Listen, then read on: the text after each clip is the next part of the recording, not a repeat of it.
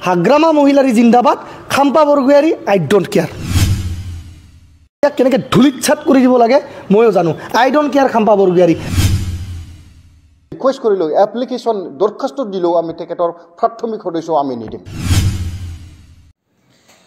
Prithviraj Narayan Mesdev B P F नि बिथाङा बायदिसिना खोथा बुंनायखौ ससियेल मिडियाफोराव नुनो मोन्दों गावबा गावनि पार्टिनि गेजेराव जुदि बेफोरबायदि आब्रुथि गैयै खोथाफोरखौ जुदि ससियेल मिडियाफोराव रायजो राजाया नुना मोनोब्ला, रायजो राजाया मिथियोब्ला पार्टिनि लोरबांथिखौ रायजो राजाफोरा हमनो हायोबा मोन्दांथिना मोनो।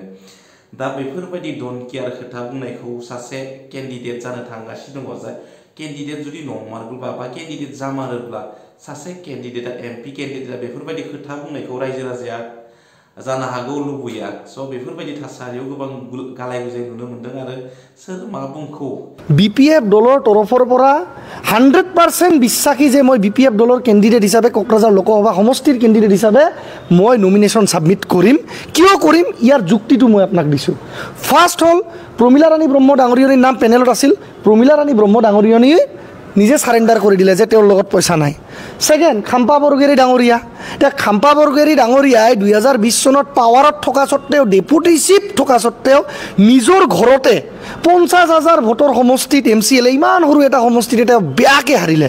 তো তেওঁ পোন্ধৰ লাখ ভোট থকা সমষ্টিত লোকসভা সমষ্টিত কেনেকৈ জিকিব কোকৰাঝাৰ লোকসভাৰ পৰা? কিন্তু খাম্পা বৰগেৰীক মই ইণ্ডিভিজুৱেলি কৈছোঁ বি পি এফ দলক কোৱা নাই দেই। মোৰ ষ্টেটমেণ্টটো বি পি এফ দলক লৈ নহয়। খাম্পা বৰগেৰীক পাৰ্চনেলি কৈছোঁ যে খাম্পা বৰগেৰী ডাঙৰীয়াই বেংকক বা থাইলেণ্ডত গৈ ইলেকশ্যন খেলক বঢ়িয়া কৰি জিকি যাব। বা আমাৰ ওচৰতে কলা বাগান আছে তাতে যাওক বঢ়িয়াকৈ ইলেকশ্যন জিকি যাব। কিন্তু কোকৰাঝাৰ লোকসভা সমষ্টিৰ পৰাতো গেৰেণ্টি ইলেকশ্যন নিজিকে হাণ্ড্ৰেড ওৱান পাৰ্চেণ্ট লিখি দিছোঁ। যিদৰে মই আজিৰ পৰা চাৰি মাহ আগত কৈছিলোঁ যে Raju Narzary U P P L দলৰ পৰা টিকিট নাপায় আৰু ৰাজু নাৰ্জাৰীয়ে ইউ পি পি এল দলৰ পৰা টিকিট পালে দুই লাখতকৈ বেছি ভোট নাপায়। তেতিয়া মোৰ কথা কোনেও বিশ্বাস কৰা নাছিল কিন্তু আজি সেই কথা কিন্তু সত্য প্ৰমাণ হ'ল। তো আজি মই কৈছোঁ যে খাম্পা বৰগেৰে ডাঙৰীয়াই কৈছে যে পৃথ্বীৰাজ নাৰায়ণ দেৱ মেচকো আং চিনায়া। কিন্তু তেওঁ পৃথ্বীৰাজ নাৰায়ণ দেৱ মেচ পূৰা নামটো জানে কিন্তু তেওঁ চিনি নাপায়। তেওঁক মই এটা জ্ঞান দিব বিচাৰিছোঁ। বেচেৰা তাৰমানে ডেপুটি চিফৰ পৰা যেতিয়া গাদীৰ পৰা নামি গ'ল ডেপুটি চিফটো নাই নাই চৰকাৰতো নাই এইবাৰ বেচেৰা এম চি এল এটো নাই বেয়াকৈ হাৰিলে। তো তাৰ ব্ৰেইনৰ অলপ বোধহয় তাৰমানে চাইক'লজিকেল প্ৰব্লেম হৈছে। বি পি এফ দলৰ মাননীয় সভাপতি হাগ্ৰামা মহিলাৰী ডাঙৰীয়াই মোক চিনি পায়। হাগ্ৰামা মহিলাৰী ডাঙৰীয়াই চাইন কৰে পেডত যে পৃথ্বীৰাজ নাৰায়ণ দেৱ মেচ পেনেল কেণ্ডিডেট কিন্তু খাম্পা বৰগোহাৰী চিনি নাপায়। তো মই কৈছোঁ হু ইজ খাম্পা বৰগোহাৰী খাম্পা বৰগোহাৰী আজিৰ দিনত বি টি চিৰ এম চি এলেও নহয়। না তেওঁ বোলে ডেপুটি চিফ না তেওঁক বোলে কোনোবা গোটেই অসমত চিনি পায়। মই ক'লোঁ না তেওঁক হয়তো বেংকক বা থাইলেণ্ডত চিনি পায়।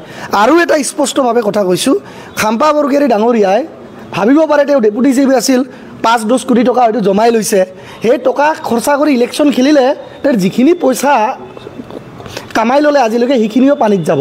আৰু এই পৃথ্বীৰাজ নাৰায়ণ দেৱ মেছে লোহে কে সাথ লোহা জেচা টক্কৰ দেনে কে লিয়ে যি টকাৰ দৰকাৰ নহওক যিমান ফাইনেন্সৰ দৰকাৰ নহওক কিয় যি কেণ্ডিডেট নাহওক সাজু হৈ আছে খাম্পা বৰগোহাৰীৰ হ'ব পাৰে তেওঁ বহুত সেই সময়ত ডেপুটি চিফ থাকোঁতে অলপমান বাহিৰা পইচাটো আহে। আহে নাহে মই নাজানো। তো সেই টকাৰে ইলেকশ্যন খেলিব বুলি ভাবিছে। কিন্তু তাতকৈ দহ গুণ টকা পৃথ্বীৰাজ নাৰায়ণ দেৱ মেছে ইলেকশ্যনত লগাই নিৰ্বাচনত যুঁজিব। আৰু টকাৰে মানুহ নিৰ্বাচন যুঁজিব নোৱাৰে। টকাৰে মানুহ ইলেকশ্যন খেলিব নোৱাৰে। কিন্তু তাৰ যিমান টকা আছে মই তাতকৈ দহ গুণ টকা খৰচ কৰিম আৰু সি যিমান ৰাইজৰ সেৱা কৰিছে তাতকৈ মই বেছি ৰাইজৰ সেৱা কৰিম। আৰু যদি তেওঁ ইমানেই ভাল আছিলে ডেপুটি চিফ হৈ থকা সময়ত তেতিয়াহ'লে বি টি চিয়ে যে অসম চৰকাৰৰ পৰা প্ৰপৰশ্যনেট ফাণ্ডিং পাব লাগে আছামনি টেন পাৰ্চেণ্ট বাজেটখৌ বি টি চিয়া মন্নাংগো বি টি চিয়ে প্ৰপৰশ্যনেট ফাণ্ডিং পাব লাগে তাৰমানে দহ হাজাৰ ক্ৰ'ৰ ইয়াৰলি পেকেজ পাব লাগে বি টি চিয়ে কিয় খাম্পা বৰগেৰী ডাঙৰীয়াই ডেপুটি চিফ হৈ থাকি তেওঁতো বোলে বিৰাট দিল্লীত গৈ থাকে তেওঁ বোলে বিৰাট এডুকেটেড হাইলি এডুকেটেড তেওঁ কিয় খাম্পা বৰগেৰী ডাঙৰীয়াই কিয় দিল্লীৰ পৰা বি টি চিৰ কাৰণে দহ হাজাৰ কোটি টকাৰ বাজেট আনিব নোৱাৰিলে? কিয় পৰা নাই? আৰু ছেকেণ্ড কথাটো হৈছে মই এতিয়া যদি কওঁ এই বাজেটক লৈ কথাটো যে দহ হাজাৰ কোটি টকাৰ কথাটো বি টি চি বাজেটতে আৰু বি টি চিৰ একৰ্ডতে উল্লেখিত আছে। বি টি চিৰ যিটো দুই হাজাৰ তিনি চনৰ একৰ্ড তাতে স্পষ্টভাৱে লিখা আছে proportionate funding proportionate budget of plan fund would be allotted to the Bodoland territorial council from the state of Assam তাক লৈ খাম্পা বৰগোহাৰী ডাঙৰীয়া সোতৰ বছৰে কি ঘোঁৰাৰ ঘাঁচ কাটিছিলে? হাগ্ৰামা মহিলাৰী জিন্দাবাদ Khampa Borgohary I don't care এটা কথা মনত ৰাখিব বি টি চিত কিন্তু থাৰ্টি পাৰ্চেণ্টহে ট্ৰাইবেল ভোট আছে আৰু seventy percent non tribal vote Kokrajhar Lok Sabha সমষ্টিত। এইখিনি যদি বুজি পায় খাম্পা বৰগোহাৰী ডাঙৰীয়াই তেখেতে খেলক ইলেকশ্যন খাম্পা বৰগোহাৰী ডাঙৰীয়াক কেনেকৈ ধূলিত ছাট কৰি দিব লাগে ময়ো জানো। I don't care Khampa Borgohary মই মেচক কৈছোঁ আপোনাক কোনে দিলে? আপুনি আজিলৈকে বি পি এফৰ প্ৰাথমিক সদস্যই নহয় আপুনি। আমাৰ দলৰ প্ৰাথমিক সদস্যই নহয়। হা? ফেনেলেছত উঠিছে বুলিয়ে যে আপুনি ইমান এটা ডাঙৰ ডাঙৰ লেকচাৰ দিব পাৰ্টীৰ কোনো ডিচিপ্লিন নমনাকৈ পাৰ্টীৰ পাৰ্টীৰ কোনো ডিচিপ্লিন পাৰ্টীৰ পাৰ্টীৰ কোনো চিক্ৰেচি চিক্ৰেচি মেইনটেইন নকৰাকৈ আপুনি এটাৰ পিছত আন এটা এলিগেশ্যন আনি আছে সেইটো অত্যন্ত দুৰ্ভাগ্যজনক আৰু মই মই চিৰাং জিলা B P F B P এফৰ ফালৰ পৰা মই এতিয়া মই ক্লিয়াৰভাৱে মই ক'ম যে তেখেতৰ তেখেতৰ তেখেতে কেণ্ডিডেচাৰ বা টিকেট পোৱাটো দূৰৰ কথা হা তেখেতক আমি প্ৰাথমিক তেতিয়া তেখেতে ৰিকুৱেষ্ট কৰিলোঁ এপ্লিকেশ্যন দৰখাস্ত দিলেও আমি তেখেতৰ প্ৰাথমিক সদস্য আমি নিদিম। এনেকুৱা আমি সিদ্ধান্ত লৈছোঁ।